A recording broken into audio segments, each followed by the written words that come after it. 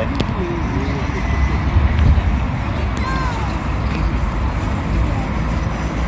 보통 개가 젤로 싫어하는 게 위에 넘어다니는 거거든? 넘어다니면 무서워.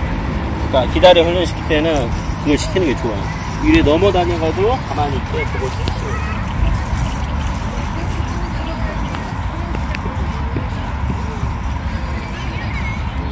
어, 클리커를 누르면은 넘어갈 때, 넘어갈 때 주면서 클릭이야. 향이야. 아시죠? 네.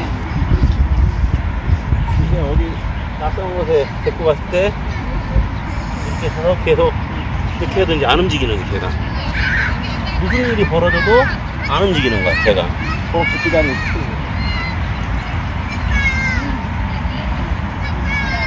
무슨 일이 벌어져도 안 움직이는 거지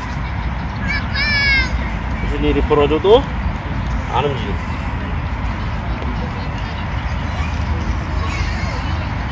이렇게 훈련시키는 기다려.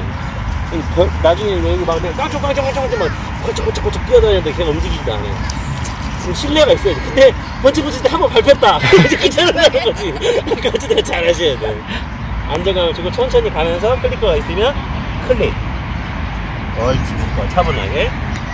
클릭. 차분하게. 옳지 good boy. 정확하게 신호를 줘야 한다는. 칙칙폭폭하고 난리 났다. 나는 지금 훈련하고 있는데 칙칙폭폭하고 난리 났어 지금. no 사인 바로 주고 다시 얘가 엎드려 있을 때 알아들었잖아요. 그러면 딱 엎드리자마자 good boy 동일한 신호로 딱 알려주는 거지. 잘하고 있구나 이렇게 확신을 알려줘야 돼요.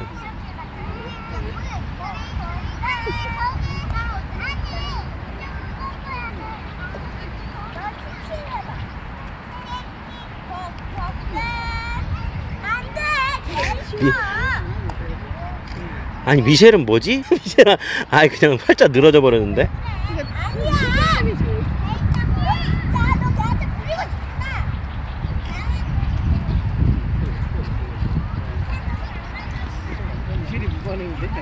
지난 지난주 완전 다르네.